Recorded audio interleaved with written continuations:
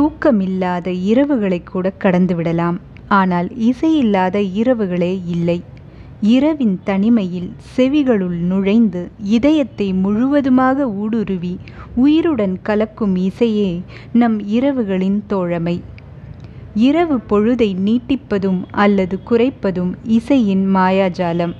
அரை தூக்கத்துடன் சாலைகளில் பயணிக்கும் டிரைவர்களுக்கு மூன்றாவது கண்ணாகவும் இன்னும் இரு கைகளாகவும் இருந்து பயணத்தை லகுவாக்குவதும் உற்சாகப்படுத்துவதும் இசையே. அந்த செப்படி வித்தை இசைக்கு சொந்தக்காரர் இளையராஜா. எழுபத்தி ஆறில் தொடங்கிய ராஜாவின் பயணம் நம் வாழ்க்கை பயணத்துடன் இரண்டர கலந்து விட்டதாகத்தான் சொல்ல வேண்டியிருக்கிறது.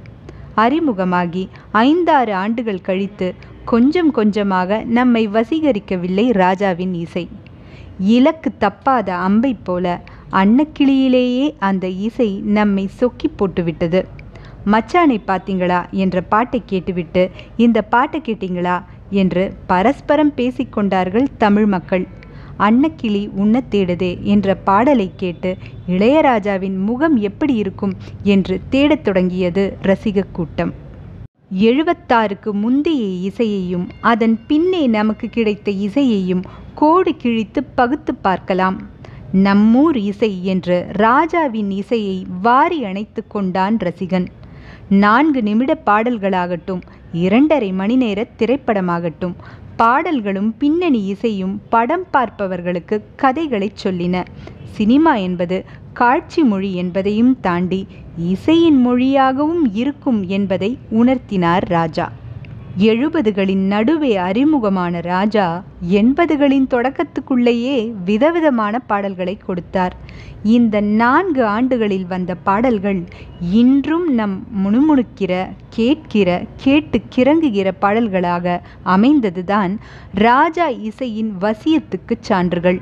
அன்னக்கிளியின் மச்சானை பார்த்தீங்களா? ஒலிக்காத ஊரும் கிராமமும் இல்லை என்றால் அடுத்து பாலூட்டி வளர்த்த கிளி படத்தில் நான் பேச வந்தேன் என்ற பாடலில் காதலும் இசையும் கைகோத்து கொண்டு நம்மை கைப்பிடித்து எங்கோ அழைத்து செல்லும்.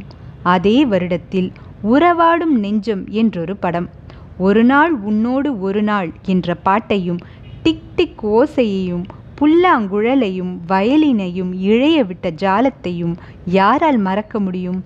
ஒரு நாளா ஒரு வருடமா?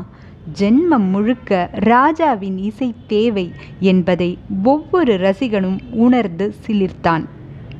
இதே ஆண்டில் பத்ரகாளி வந்தது. கணவனையே குழந்தையாக்கி கண்ணன் ஒரு கைக்குழந்தை என்ற பாடலை மெட்டமைத்து கொடுத்தார் ராஜா. இன்று வரைக்கும் தம்பதியரின் தேசிய கீதமாக திகழ்கிறது. ஏழ் பிறப்பும் இணைந்திருக்கும் சொந்தம் இந்த சொந்தமம்மா பாட்டு. கவிஞர் வாலியும் ராஜாவும் இணைந்தது இந்த பாடலின் மூலமாகத்தான். அடுத்தது எழுபத்தேழில் நடிகர் திலகம் சிவாஜியின் படத்துக்கு முதன் முதலாக இசையமைத்தார் ராஜா. தீபம் படத்தின் அந்த புறத்தில் ஒரு மகாராணி நம்மை ஆட்கொண்டது. ஆளுக்கொரு ஆசை படத்தின் கணக்கு பார்த்து காதல் வந்தது பாடலும். அவர் எனக்கே சொந்தம் படத்தின் தேவன் திருச்சபை மலர்களை பாடலும். இதே ஆண்டில்தான் தமிழ் சினிமாவை மற்றும் ஒரு பாதைக்கு அழைத்து சென்ற புதியதொரு பாதையையே உருவாக்கி தந்த பாரதி ராஜாவின் பதினாறு வயதினிலே வந்தது. நண்பனின் கனவு சித்திரத்துக்கு வண்ணங்கள் தீட்டி அழகு பார்த்தார் ராஜா. செந்தூரப்பூவே செந்தூரப்பூவே என்ற பாடலும் காற்றினிலே வரும் கீதம் என்னும் படத்தின் பேர் சொல்லும் பாட்டும் சித்திரை செவ்வானம் சிரிக்கக் கண்டேன் பாட்டும் ராஜா இசையின் அடுத்த பரிமாணங்கள் ஆயின அச்சாணி என்றொரு படம் மறந்திருக்கலாம். ஆனால் மாதா உன் கோயிலில் என்னும் பாட்டு நம் மனதுக்குள் மணி எடுத்துக்கொண்டே இருக்கிறது. மீண்டும் சிவாஜி படம்.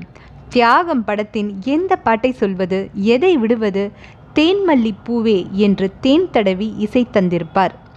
வசந்த கால கோலங்கள் என இசையால் கோலமும் ஜாலமும் படைத்திருப்பார்.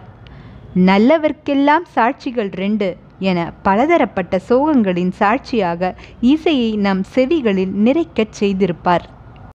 இதே ஆண்டில் இது எப்படி இருக்கு என்ற ஜெய்சங்கர் படத்தில் எங்கும் நிறைந்த இயற்கையின் என்ற பாடலை நாம் சட்டென்று உள்வாங்கி பாட முடியாத மெட்டை போட்டு கேட்டு கேட்டு கிறங்க செய்திருப்பார் இளையராஜா. ரஜினியர் சூப்பர் ஸ்டார் ஆக்கிய நண்டுருது நரியுருது பாடலும் சிட்டுக்குருவி படத்தின் டபுள் ரோல் பாடலான என் கண்மணி என் காதலி பாடலும் புதுசுதான். எழுபத்தெட்டில் இவை மட்டுமா? இளமை ஊஞ்சலாடுகிறது படத்தின் எல்லா பாடல்களும் நம் மனதுக்குள் செவிக்குள் சிந்தனைக்குள் இன்னும் ஊஞ்சலாடிக்கொண்டே இருக்கின்றன. கன்னத்தில் தேன் வடித்து ஒரே நாள் உனை நான் என்னடி மீனாட்சி சொன்னது என்னாச்சு? என்று எல்லா பாடல்களையும் ஹிட் ஆக்கினார்.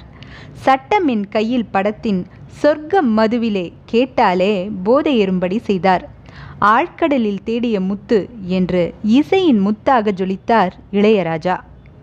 பாரதி ராஜாவின் இரண்டாவது படம் இந்த ஆண்டில்தான் வந்ததென்றால் மகேந்திரனின் முதல் படமான முள்ளும் மலரும் வந்ததும் இதே வருடத்தில்தான்.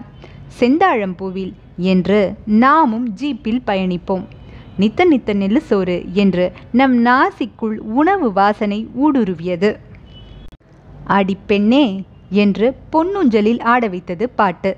ராமன் ஆண்டாலும் ராவணன் ஆண்டாலும் என டப்பாங்குத்து போட வைத்தது. சிகப்பு ரோஜாக்கள் படத்தின் நினைவோ ஒரு பறவை நம் நினைவுகளை பறக்கவிட்டது. இந்த மின்மினிக்கு கண்ணில் ஒரு மின்னல் வந்தது என்று ராஜ மின்னலின் வெளிச்சத்தில் கரைந்து போனோம். அவள் அப்படித்தான் படத்தின் உறவுகள் தொடர்கதையின் இசையும் பன்னீர் புஷ்பங்களேவின் இசையும் பெண்ணின் கனத்த சோகத்தை மென்மையான இசையாலேயே நமக்கு உணர்த்தின. அடுத்த எழுபத்தி ஒன்பது ஆண்டில் கண்மணியே காதல் என்பது என்று ஆறிலிருந்து அறுபது வரை.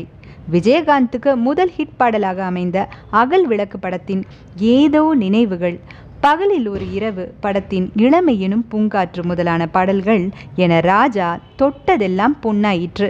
உதிரிப்பூக்கள் படத்தின் அழகிய கண்ணே ஒன்று போதும். அந்த தாய்மையின் துக்கத்தை தாங்கிக் கொள்வதற்கும் ஏந்திக் கொள்வதற்கும். இவையெல்லாம் எழுபதுகளின் மத்தியில் வந்த இளையராஜா எழுபதுகளின் நிறைவுக்குள் நமக்கு கொடுத்திட்ட இசை பொக்கிஷம். அடுத்து எண்பதுகளின் தொடக்கம் வந்தது. அடுத்தடுத்து புதிய இசையை பிரசவித்து கொண்டே இருந்தார். எண்பதுகளில் தென்னிந்திய சினிமாவையே கட்டி ஆண்டார் என சொல்லலாம். இப்போது வயதின் எண்பதிலும் ராஜ இசையை வழங்கிக் கொண்டே இருக்கிறார்.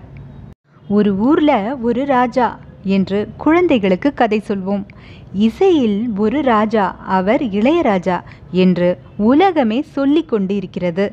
இது வெறும் கதை அல்ல சரித்திரம். இசையின் சரித்திரம் இளையராஜாவின் சரித்திரம்.